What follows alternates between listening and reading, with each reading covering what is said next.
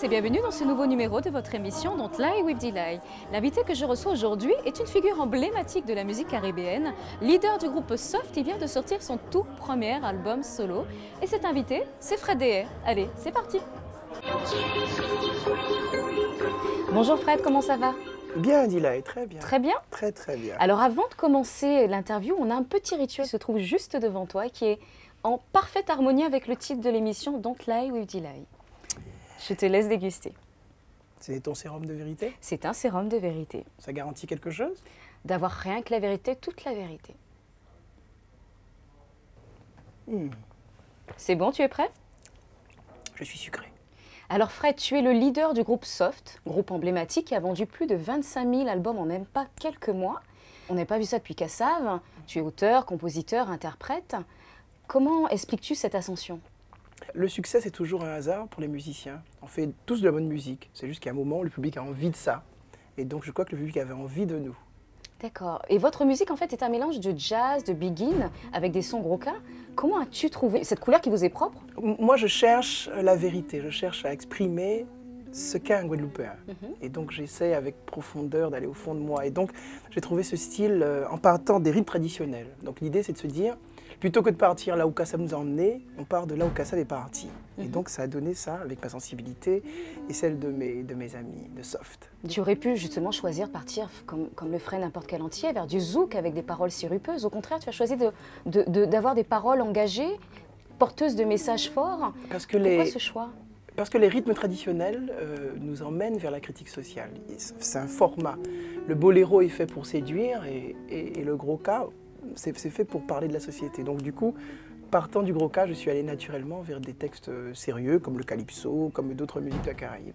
Et en parlant de texte, tu te réfères souvent à l'Afrique, terre de- des souches, des souches des Guadeloupéens. Ah oui. Beaucoup d'Antillais ne reconnaissent pas leurs racines africaines. Est-ce que tu penses que c'est un problème identitaire qu'ils ont? Euh, oui, parce que c'est difficile de, de- de vivre ce que nous sommes vraiment, c'est-à-dire euh, d'origine africaine avec le mélange euh, européen. Mais l'Afrique est naturelle aux musiciens d'abord, parce que celui qui fait de la recherche sur le gros cas, sur le calypso, sur le son, il retrouve l'Afrique. Sur la musique haïtienne, il retrouve l'Afrique. Naturel à celui qui tente de réfléchir sur sa société, parce que d'une manière ou d'une autre, on, notre, par exemple, notre chip là, Notre chip, bah oui, on le peut pas, fameux on peut chip. pas être plus, on peut pas être plus africain quand on chip, et pourtant on chip naturellement dès l'âge de 2-3 ans, on chip. Donc euh, l'Afrique est toujours là. Et puis mon éducation était, était tournée vers, euh, vers l'Afrique, mais c'est l'Afrique mythique. Mais mon père, qui était indépendantiste, il, euh, il, il me disait, il est mort avant, il me disait, mais un jour on va retourner tous ensemble, on va aller voir nos frères, parce que nous sommes, disait-il, des Fonds et des Yoruba.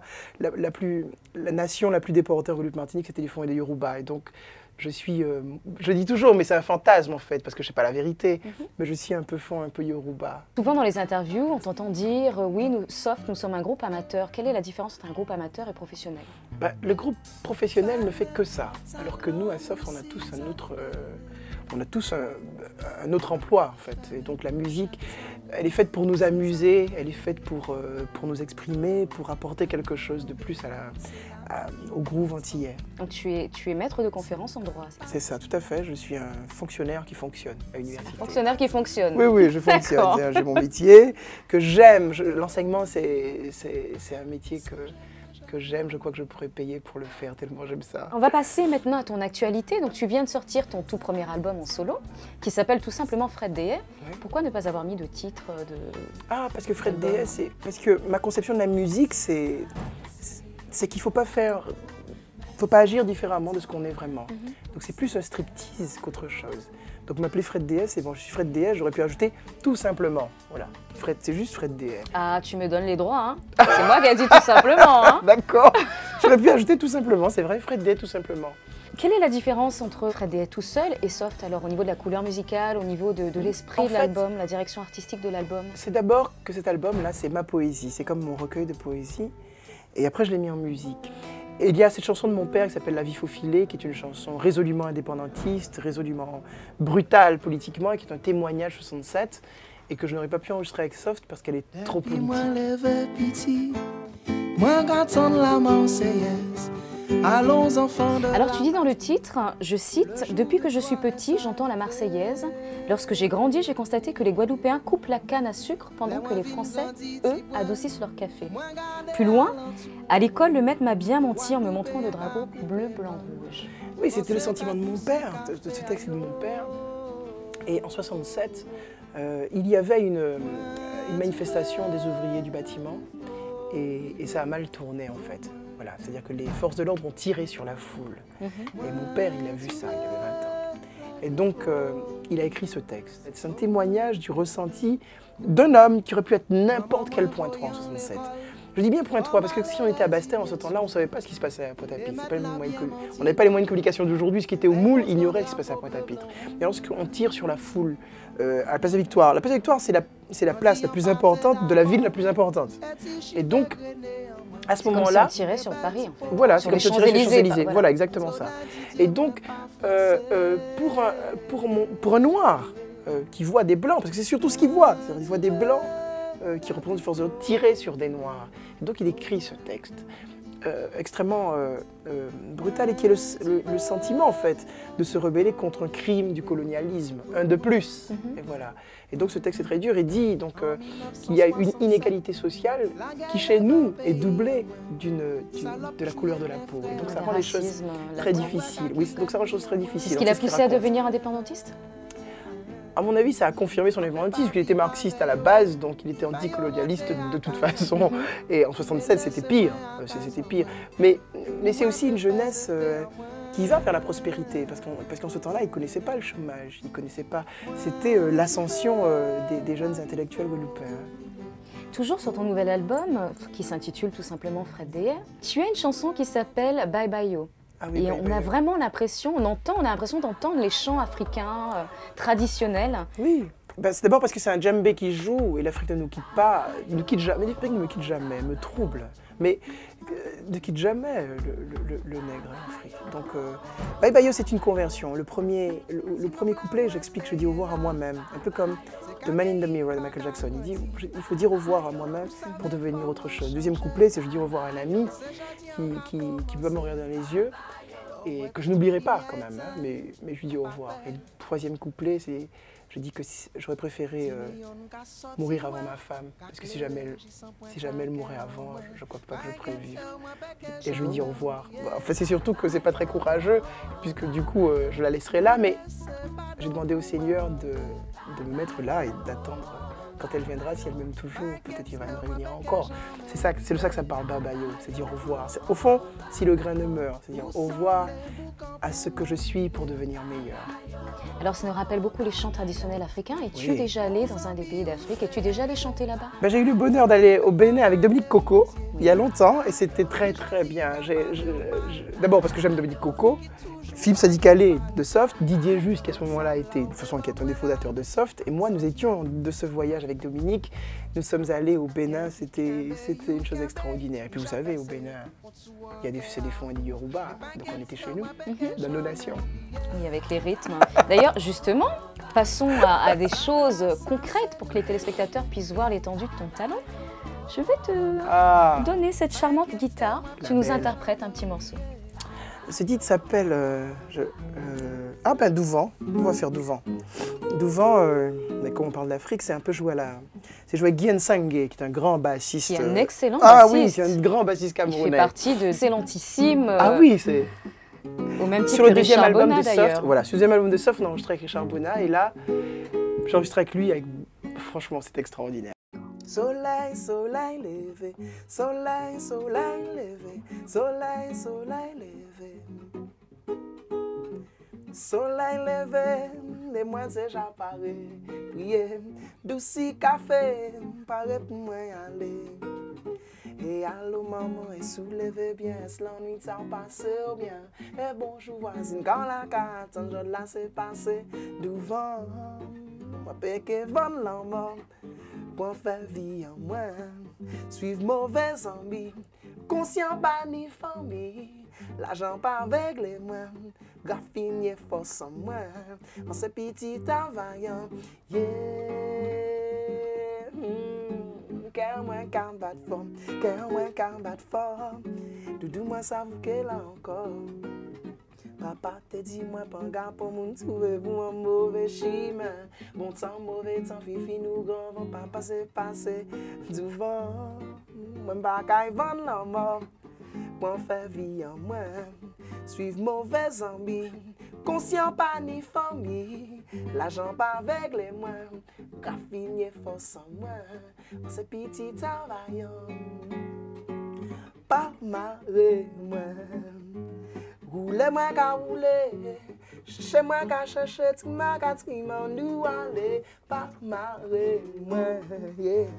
Roule mwen ka roule, cheche mwen ka cheche, ti mwen ka ti mwen nou ale, Waouh, bravo C'est super beau. C'est sur le, Merci. donc c'est sur le dernier album. Oui, c'est sur le dernier, c'est joué un peu, voilà, camerounaise, la, Ah, la musique génial. percussive, euh, voilà, C'est j'aime ça. génial. Dans ton premier album, il y a une chanson qui est dédiée à ta maman, Dédé, Ah ouais. dans lequel tu dis, il y a une phrase qui m'a marquée, tu dis, ils disent que je chante mal, mais je sais que je ne suis pas banale. Est-ce que tu as souffert des critiques des gens à tes débuts? Est-ce qu'il y a des choses qui t'ont fait mal? la- Oui, de- du, le- du côté gratuit de la critique Non, le problème, c'est que c'était des, des musiciens qui étaient proches de moi, qui, qui, pensaient que je ne réussirais pas. Là, Pour Et le alors, coup, ils sont mais- un peu plantés. Hein Oui, mais je savais que je n'étais pas banal. Parce qu'on sait très tôt qu'on n'est pas banal. hein. Dans Johnny de Patrick Saint-Éloi, il dit C'est des pia si l'école, déjà, tout ça, c'est la conscience du talent.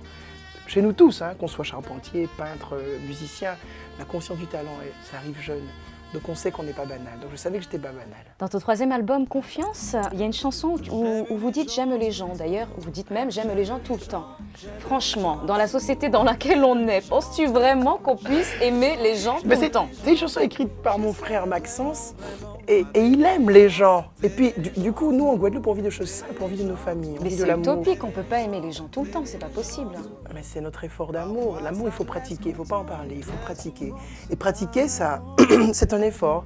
Et je crois que mon frère, il aime les gens tout le temps. Et moi aussi, je- j'essaye. Pas tout le temps, j'arrive pas tout le temps, mais j'essaie d'aimer. C'est-à-dire pratiquer euh, l'empathie, pratiquer euh, la recherche de l'autre, la générosité, la compréhension. Et c'est un effort. En fait, les gens, n'aiment pas parce que c'est plus difficile d'aimer que de haïr. C'est beaucoup plus difficile. C'est vrai. De poser des actes d'amour, c'est difficile. Mais il faut poser des actes d'amour constamment. Comme ça, on grandit un peu. Le plus grand obstacle au bonheur, c'est sans doute la vanité des hommes. Et, l'amour exclut, exclut. Alors passons à des choses beaucoup plus politiques, vu que c'est la tendance euh, du moment.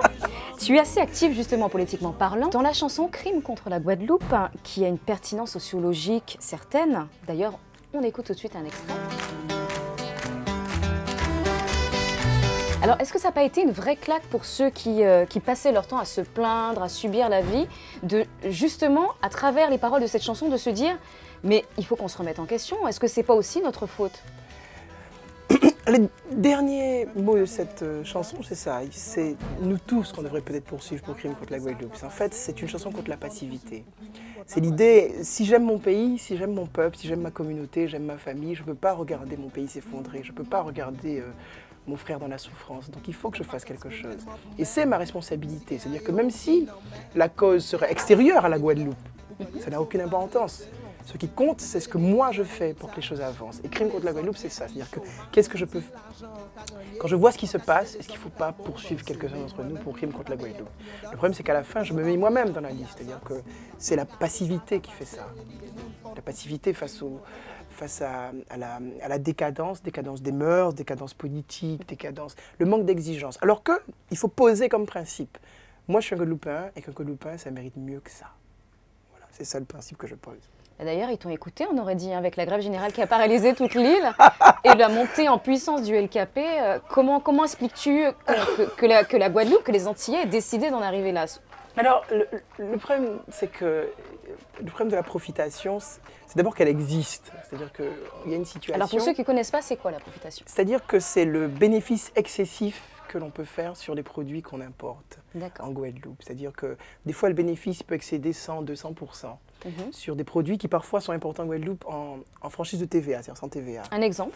Un exemple tout simple, c'est-à-dire que tous ceux qui sont la Guadeloupe savent qu'on peut acheter le yaourt chez nous deux fois le prix qu'ici, parfois trois fois le prix de vente d'ici, y compris une brosse à dents. Qui peut être 3 4 fois le prix d'ici des produits. Donc les marges sont, nous paraissent excessives, parce qu'elles le sont vraiment excessives. Elles nous apparaissent ex excessives. Donc c'est ça la profitation.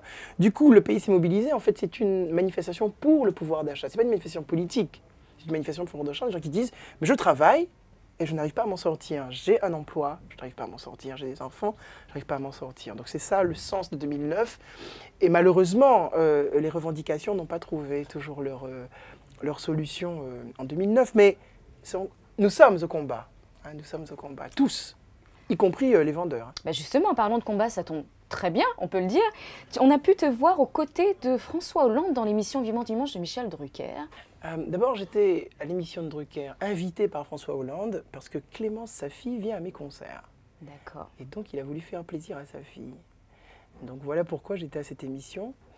Et donc, la politesse euh, nous a obligés à revenir, puisque le 10, il a eu euh, un meeting pour les Outre-mer. Et donc, je suis revenu sans soft, mais c'est vraiment par politesse. Euh, le, remercier de nous avoir invités ce jour-là, de nous avoir offert euh, une tribune. On va passer à la partie la plus décalée de cette interview. Ah bon? Alors là, tu dois répondre sans réfléchir. Allez, c'est parti. Ah non, non, non. Sans réfléchir. Sous sérum de vérité en plus. Sous sérum de vérité. Et comment? Si tu étais une chanson. Living Inside Your Love de Clue. D'accord. Si tu étais un leader politique. Si tu étais un leader politique? Nelson Mandela, Nelson ah Mandela, c'est ce qu'il y a de mieux. Ah Nelson Mandela. Euh, je, je m'attendais quand même à ça. Je me disais, oh, c'est évident. Nelson Mandela, c'est ce qu'il y a de mieux. Juste parce qu'en fait, il a refusé de se représenter. C'est extraordinaire quand même. Si tu étais un plat Colombo. Ah oui, mais manger. On peut dire ça, Colombo. Ton objet fétiche. Mon objet fétiche, ma guitare. D'ailleurs, on peut voir un petit autocollant dessus là. Ah oui, c'est un autocollant des Toupie Beyblade comme mes enfants, ils ont collé. C'est pas joli, on dit, mais au moins ils sont toujours avec moi. Dès que j'ai la guitare, ils sont avec moi. C'est beau. Et si, et si c'était à refaire C'était à refaire, je, je, crois que je passerais plus de temps avec mon père. C'était à refaire, je crois que c'est ce que je ferais. Alors Fred, même si tu es un homme, les hommes aujourd'hui prennent soin d'eux, de leur corps, de leur peau. Quels sont tes petits conseils de beauté? Comment prends-tu soin de ta peau? Comment prends-tu soin de ta personne? Ben, Je ne prends pas soin de ma personne. Ma femme m'oblige à passer de l'huile de carapate dans mes cheveux. T'obliges, hein? Elle me dit, mais comment tu l'as pas passé Alors du coup, je fais de temps en temps. Je crois que c'est le sourire qui rend beau, qui donne du panache. Moi, je suis le numéro 4, celui-là. Oui, on a remarqué, hein, sourire euh, Colgate, euh, oui, on a remarqué. Alors justement, parlons de sourire Colgate, côté séduction, comment Fred se prépare pour séduire une femme? Ça fait longtemps que j'aime une femme, moi. Mais je suppose, je suppose que, comme tous les poètes, je crois qu'il faut mettre en avant, un, ce qu'on est vraiment, éviter de mentir, et deuxièmement, les, un joli mot, un joli mot, ça devrait toucher le cœur. On peut trouver la porte du cœur par des jolis mots. Pour finir, quel conseil donnerais-tu à ces jeunes euh, chanteurs, ces jeunes artistes qui veulent se lancer professionnellement dans la musique? Eh D'abord d'apprendre à jouer de la musique, pour de vrai. D'un instrument? Euh, Non, mais apprendre tout de la musique. Ensuite, exprimer ce qu'on est avec les mots que l'on a. Mais il faut vraiment apprendre les mots de la musique, tous les mots de la musique. Et du coup, on est ouvert. Et à la fin, il faut mettre en avant l'originalité mhm. et être sûr de quelque chose. C'est-à-dire sûr qu'on a du talent, mais que ça ne suffit pas. Un musicien, ça fait de la bonne musique. Un producteur, ça fait vendre du disque. Mhm. Un éditeur, ça promotionne la musique. C'est un autre job. On peut être un très bon musicien et ne jamais vendre un seul CD. Eh bien, je crois que sur ces derniers mots, le message est passé. En tout cas, je te remercie beaucoup pour ta gentillesse et ta disponibilité. Merci de m'avoir invité. Et puis, je te souhaite tout le meilleur pour cet album euh, que tu viens de sortir. En espérant te revoir très vite. En regrettant de ne pas l'avoir appelé Fred tout simplement, tout simplement. Tout simplement. Copyright Tout simplement, copyright Zilay. Merci beaucoup à toi. Cette interview est à présent terminée. On se retrouve la semaine prochaine avec un nouvel invité. Merci de nous avoir suivis. À bientôt. Bye bye.